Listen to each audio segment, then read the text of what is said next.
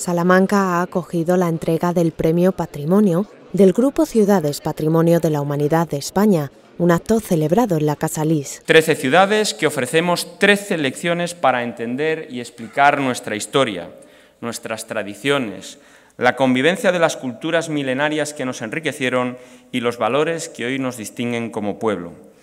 Trece joyas que manteniendo nuestra singularidad y nuestras peculiaridades, hemos aprendido durante los últimos 20 años que juntos somos mucho más fuertes. Un galardón otorgado a la Fundación Barrié, que valora el mejor proyecto ejecutado en materia de conservación o restauración del patrimonio histórico y cultural español, en este caso por su labor en la Catedral de Santiago de Compostela. Cada una de las ciudades, patrimonio de la humanidad, tiene una responsabilidad, o dicho de otra manera, una misión que va más allá del ámbito municipal.